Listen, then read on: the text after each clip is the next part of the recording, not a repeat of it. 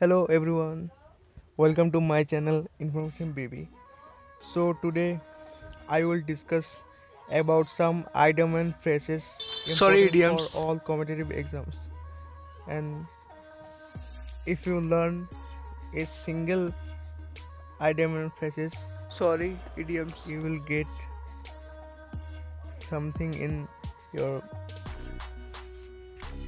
upcoming exams so try to learn from one. So so, मैं कहना चाहता हूँ कि आप पहले से छोटा से स्टार्ट करें क्योंकि इसकी तो कोई कमी नहीं है ना। जितना भी सीखे कभी ख़त्म नहीं होने वाला है। तो जितना भी जितना भी सीख सके डेली दस करके भी सीखे तो बहुत काम आएगा। तो ज़्यादा नहीं सीखना है मैं कम से कम आज टेन आइटम एंड फ्रेजेस लेता हूँ जो आपको याद करने के लिए बहुत इजी होगा। सो so, जल्दी से जल्दी स्टार्ट करते हैं। जैसे फ़र्स्ट क्वेश्चन है ब्लैक शिप ब्लैक शिप ये बहुत इजी है सबको पता है ब्लैक शिप तो ऐसे करके याद कर सकते हैं शिप जो होता है वो ब्लैक होने से अच्छा नहीं है। तो इसका क्या होगा?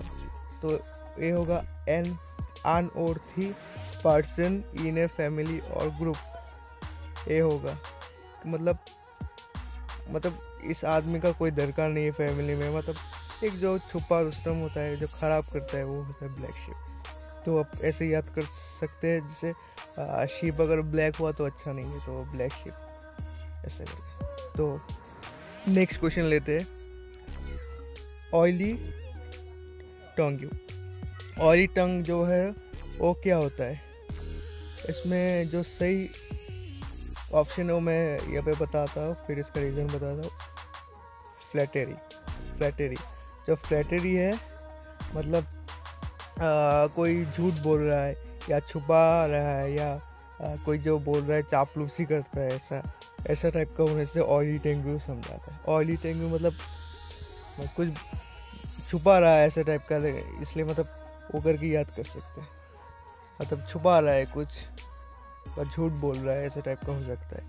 Oily tongue so turn to next question lion share lion lion का जो शेयर होता है लाइन क्या होता है? एक बहुत बड़ा जीव होता है। तो उसका शेयर मतलब क्या होगा?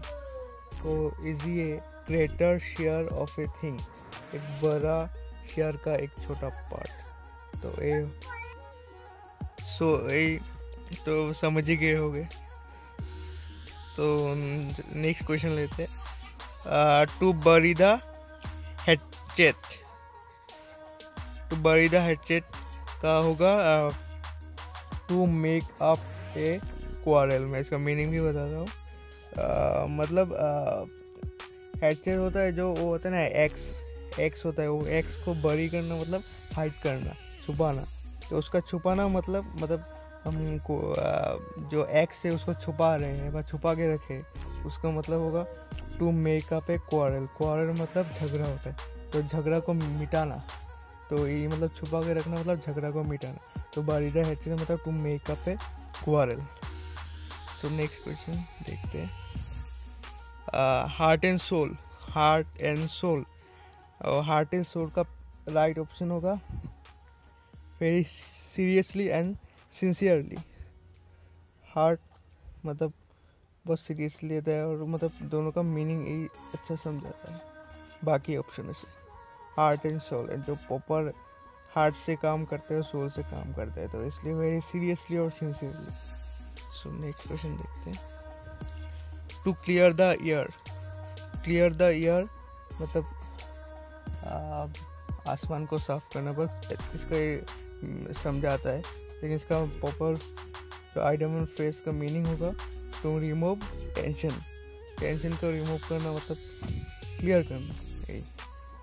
So next question to chew the cud to chew the cud to be very annoyed to think deeply to eat humble food to start doing something new इसका जो राइट right ऑप्शन होगा तो think deeply चिवदा का मतलब जो सोचता है तो उंगली को मुँह से दबाता है ऐसा, वो रहता है तो वही होता है च्यू द कार्ड तब सोचना कुछ च्यू मतलब चबाना कार्ड उंगली का हो, इसलिए।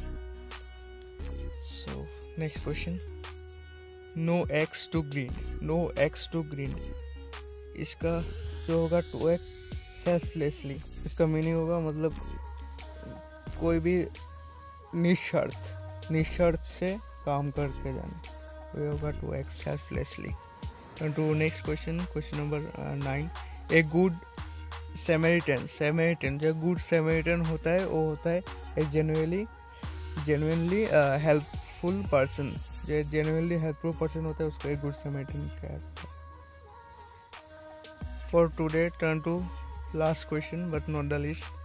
To steal a march to steal a march to steal a march का मीनिंग होगा टू आउटसाइन मतलब चमकना, जैसे दो मैच हुआ तो उसमें जो कोई कोई खिलाड़ी बहुत अच्छा काम करता है, वो अच्छा खेलता है तो आउट करता है तो उसको बोलते हैं to steal a march to steal a march तो गाइज़ आज के लिए इतना ही था।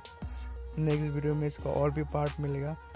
तो stay connected with me and watch all my videos and thanks for watching bye bye take care